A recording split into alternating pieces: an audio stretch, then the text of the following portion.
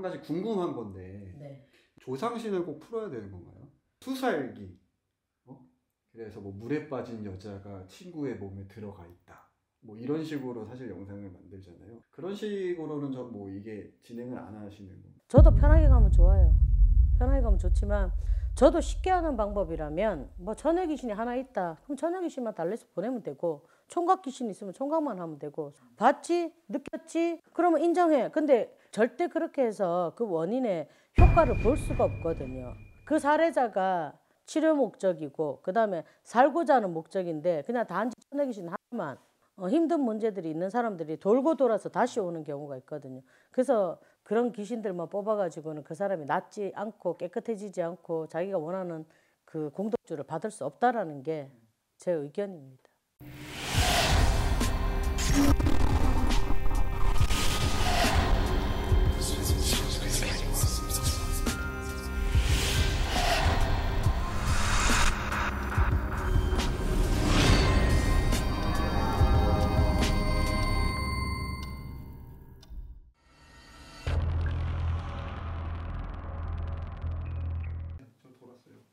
네, 돌았습니다. 저희한테 왜 제보를 하시게 되셨나요? 아, 그게 제가 작년부터 금전이 되게 새어나가고 조금 몸이 좀, 좀 움츠거리길래 제가 여러 군데 점집을 가봤어요. 뭐 전화 점사도 하고 저한테 신가물이 있다고 하고 외갓줄에서 신이 세다고 해가지고 신 테스트 했으면 좋겠다고 얘기 들은 적도 있고 또 다른 데는 신감은 있는데 무당사주는 아니라고 하고 좀 신의 벌전도 있고 조상의 벌전도 있다고 해서 그거에 대한 솔루션을 받아야 된다고 하더라고요. 그렇지 않으면 좀 힘들어질 거라고. 나이가 이제 26으로 저희가 알고 있는데 점집은 한 몇 군데 정도 가신 것 같으세요? 여러 군데 여러 군데인데 열다섯 군데에서 스무 군데 그 정도 되는 것 같아요. 원래 대기 제주도로 알고 있는데 네, 이제 이거를 신청하기 위해서 비행기도 타고 오셔가지고 여기까지 오셨잖아요. 네. 그럼 진짜 원하시는 게 어떤 거세요 지금? 저의 그 상황들이 만약에 벌전이 있으면 벌 만약에 뭐 신의 벌전이 조상의 벌전이 있으면 풀어졌으면 좋겠고 만약에 한이 많은 조상이나 뭐 사고나 난 정상이 있다고 한다면 그게 잘 풀려졌으면 좋겠고 좀 새로운 시작이 됐으면 좋겠어요. 뭐가 궁금한데?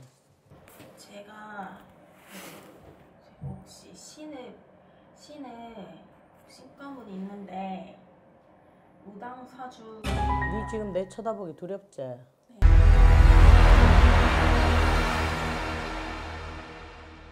어, 나이 이제 26살인데 점집에 왜 다녀?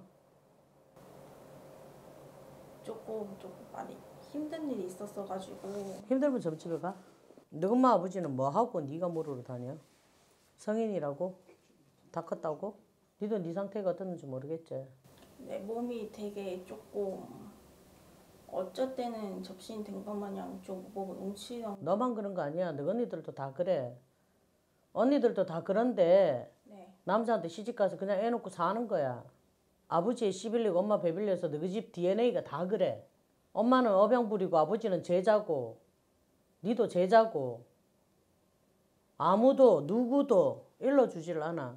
그리고 전부 다 피해가지고 시집 가갖고 애들 놓고 살면서 지지고 볶고 살아 그냥 힘들어도 여기에 해가 있다는 건 알지만 안 쳐다봐 안 쳐다보고 그냥 여기 달이 있는 곳에서 살아. 그게 힘들어 나는. 보통 네 나이 때 되면 누가 점집에를 다녀? 무서워서라도 안 다닌다. 근데 네가 무당들을 빤히 쳐다보면서 점을 쳐달라 할 때는 뭐 때문일까? 너보다 더 날고 기는 사주를 갖고 접신을 맨날 하는 사람들도 물을 안 다니는데 뭐가 앞을 서가지고 점집에 가야 될 것 같고 점집에 가서 들어야 될 것 같고 그 얘기로 몇 달 살고 또 궁금증이 발달하면 점집에 가서 또 물어서 또 몇 달 살고. 네 지금 그러잖아. 상대방 무당이 아니라고 얘기하면서 아니라고 얘기하면 안도의 한숨이 나오면서도 승질이 나고 맞다고 얘기하면 네. 맞다고 얘기하면 좋기는 한데 억수 두렵고 네. 어떡하지? 이 마음이 먼저 들고 네. 목안 타나 맨날 목이 안 타냐고 속이 안 타냐고 속이 좀 여기 타들어가는 것 같지 않냐고 형이 맞은 공량이 많이 아프기도 하고 응, 어쩔 때는 다리가 아프기도 하고 응. 너의 조상을 보면 변시 가정에 네. 타살 갔던 할아버지 계시고 그 다음에 이게 소갈병인지 쉽게 말하면 약을 먹었었는지 이쪽이 다 타고 정신이 없고 네. 정신이 없다고 머리가 아프고 네. 타살 조상, 전쟁통 조상, 네. 수살기, 네. 여혼신, 네. 그 다음에 아버지 형제자 남자 혼신, 어? 네. 기본이 이렇게 들어와 있어. 이렇게 들어와 있는데 신까지 들어와 있으니까 네. 너한테 와 있는 신이 누군가를 밝혀주면 내가 제자인가 아닌가 해야 된다 말아야 된다가 결정 날 거 아니야. 네. 이렇게 윤희 씨처럼 뭐 신가물이든 벌전이든 이렇게 만약에 자기가 타고 있으면 점을 보면 나아지는 거예요 본인이. 그러니까 왜 점을 20번 이상 간게 저는 궁금했어요. 어쩔 때는 해소될 때도 있고 안 될 때도 있어요. 근데 왜냐하면 이 혈기 쪽으로 몸 신체 쪽으로 이 신기가 안 타면 되는데 몸으로 계속 느껴지고 그게 더 많이 타고 들으면 본인이 더 깝깝해요. 음, 더 깝깝하니까 또 찾게 되고. 그러니까 본인한테 계속 이렇게 들어오는 기운들이 많다 보니까 감당하기가 너무 힘들었어요. 많이 힘들었지. 정신병적인 건가? 아니면 치매인가? 영적인 건가? 이렇게 고민을 하다 보니 네. 심리적으로도 많이 우울했고 네. 우울하니까 신들은 그런 거 아니다라고 차고 들고 네. 그래서 오늘은 어찌되었건 네. 네가 새벽밥 먹고 먼 길을 왔는데 네. 얻어갈 수 있는 게 있어서 네. 얻고 또 희꼬기 타고 제주도 가서 열심히 일했으면 좋겠다. 그래서 가끔씩 선생님 보고 보러 오고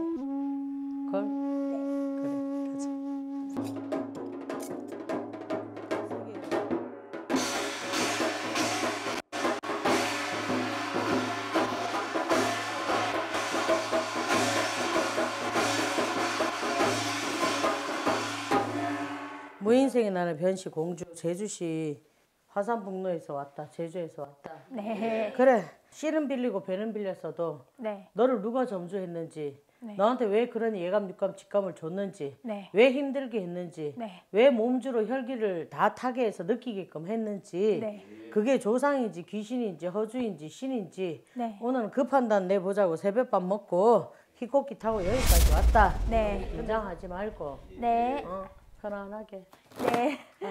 가자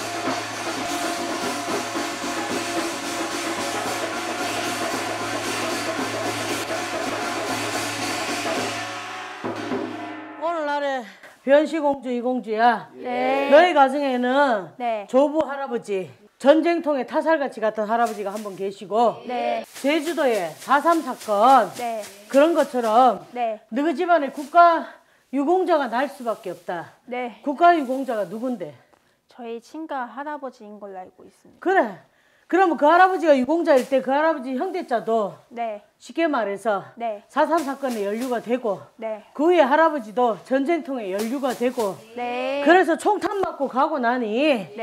내가 학살을 당하고 나니 네가 그렇게 억울하다 순간적으로 화가 팍 나고 네. 순간적으로 눈이 빡 돌고 왜 나를 오해하면 나는 무시당해서 너무 싫고 날 알아주는 이가 없고 내가 징용처럼 끌려가서 죽기 싫은데 서서히 굶어가지고 있다가 학살을 당했대도 과는 아니다 네. 그리고 아직까지 내 시신도 못 찾았고 내 뼈줄이다 백골도 다 못 찾았다 수습을 했다 하나 네. 내 혼이 아직 거기 남아있다 이 말이다 네. 그래서 손녀한테 알아달라고 혼 빠지는 일, 네. 넋 빠지는 일, 네. 어, 3초에 한 번씩 내 정신 넘주고 너의 정신 실어서 네. 네가 성질을 내고 네. 그래.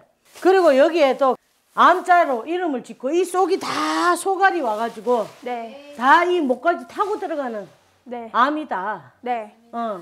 네. 뭐를 그렇게 아파가 돌아가셨는데 할아버지가 식도암으로 그래. 돌아가셨습니다. 먹을 것도 다 못 먹고 이 안에서 다 속이 타버려서 그래서 네 가슴이 네. 안 그래도 타살줄도 있고 학살줄도 있는 데다가 여기 할아버지가 못 먹고 이렇게 돌아가시고 보니 네. 어떤 데는 이 속이 타는 것 같고 네. 답답하고 메스거리고 네. 네, 맞습니다. 그래서 그거 찾아보려고 네. 우리 좀 찾아달라고 무당집에 너를 한 번 보내고 네. 두번 보내고 네. 세번 보내다 보니 이렇게 네. 되었다 이 말이다. 네. 그래서 오늘은 잠시 잠깐이라도 이거를 풀고 가고 이 애기한테 넘나들지 않도록 어, 닦아줄 터이니 그리 알아 짐작하란다.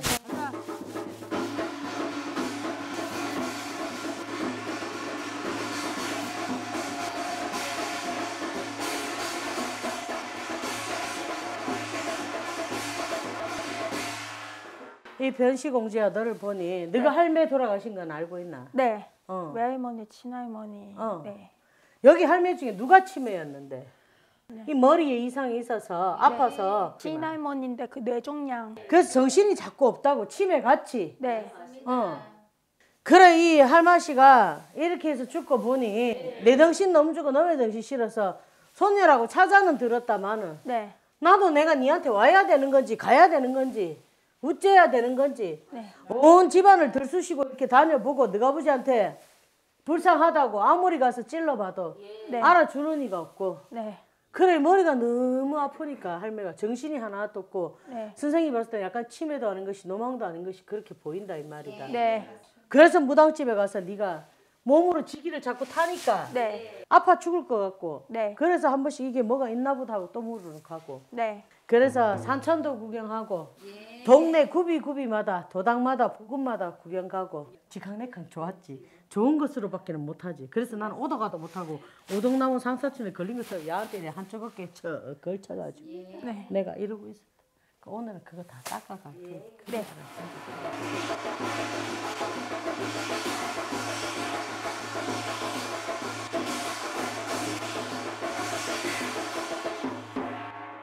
이 변시 과정에 네가 잘 알랑가는 모르겠는데 네. 좀 새파랗게 젊은 여자 네. 수살기 물에 자살을 했는지 네. 물에 들어가서 못 나온 그런 여자가 하나 있다. 네. 그래서 네가 속은 뜨거운데 겉은 한 번씩 탈 때 소름 끼치고 네. 너무 춥고 네. 살갗이 닭살이 돋고 네. 오싹 오싹하고 네.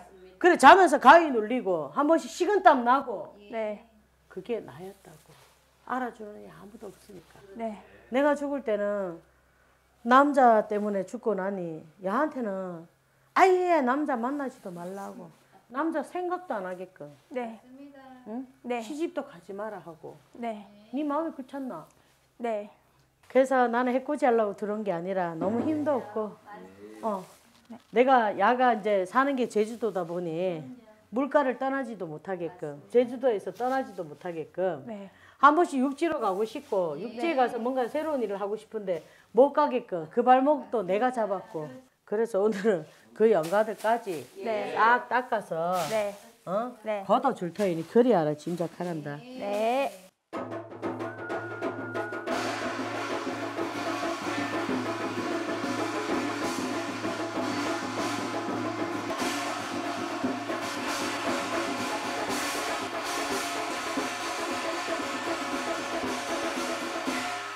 엄마를 보니 강씨 부인을 보니 엄마 수술한 적 있나?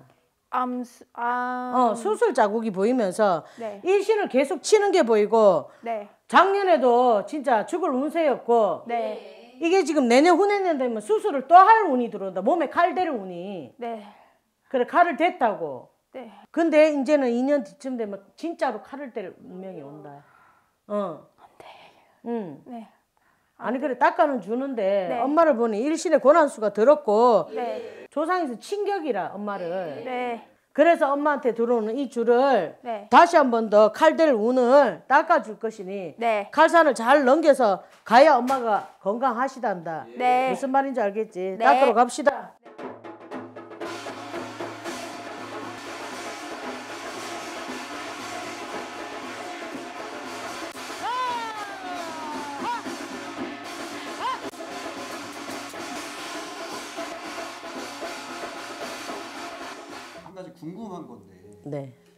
저희가 촬영 영상용이 아니라 실제로 이런 이제 솔루션이 필요하신 분들이 오시면 조상신을 꼭 풀어야 되는 건가요?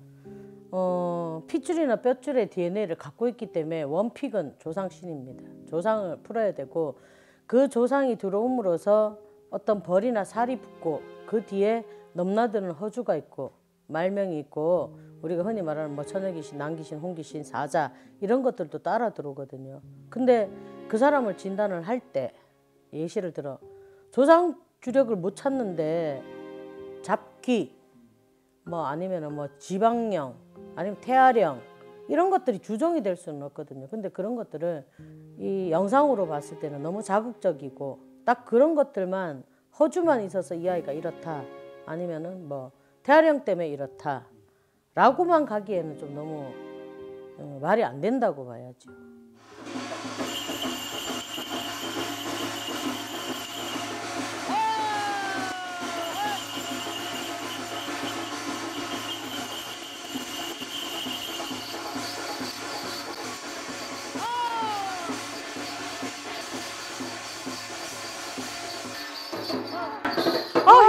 씨발 진짜 족같네. 그래 아 진짜. 그래 동작을 하잖아. 아 씨발 족같네 진짜 나를 그만큼 몰라?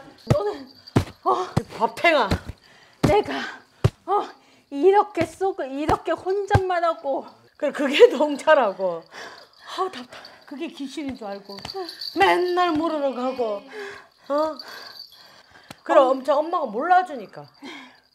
엄청 화도 나 있고 답답하고 응. 너무 답답하고 속이 이렇게 속이 이거 답답하는 졌는데도 모르고 응. 그 어떻게 해줄까? 오늘은 기분 좋지? 네 얼마나 기분 좋아? 완전 기분 좋아 이렇게 놀 수도 있고 이렇게 놀고 응. 네가 누군지도 알 수도 있고. 네 응. 동자 동자. 무슨 동자? 이름이 무슨 동자인지 놀면서 우리 또 받아오자. 너 이름 뭐야? 가자.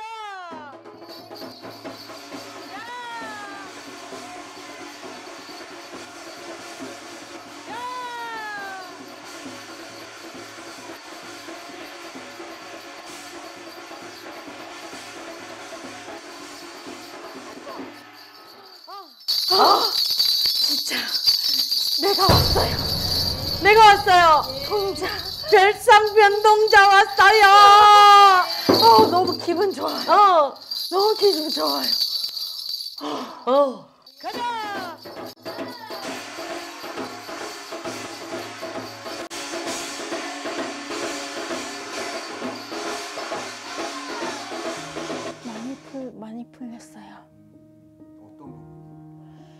네, 동자선 제가 그 신을 받아야 되는지 아니면 신을 받지 말아야 되는지 신은 받진 않아도 되고 계속 함, 동자성녀 함께하고 있다는 걸 잊지 말라고 엄마가 그 이길 수 있는 시련을 이길 수 있는 시련 준다고 그렇게 저한테 동자성녀가 말씀하시더라고요. 매 순간마다 함께하는 거 잊지 말라고.